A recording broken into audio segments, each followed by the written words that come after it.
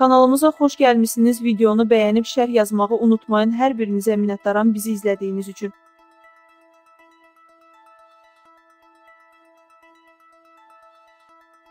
Aparıcı Azər Zahir gözdən əlil olan Qarabağ qazisi Amil Əliyevə dediyi sözlərə görə üzr istəyib. Qafqaz Info xəbər verir ki, Amillə TikTokda canlı yayıma çıxan aparıcı mən səndən dönə-dönə üzr istəyirəm deyib. Xatırladaq ki, Azər sosial şəbəkədə yayılmış videosunda Amil Əliyevə zərfin içərisində pulu verərkən onsuz da saya bilməyəcəksən deyib. Bu isə sosial şəbəkələrdə etirazla qarşılanıb.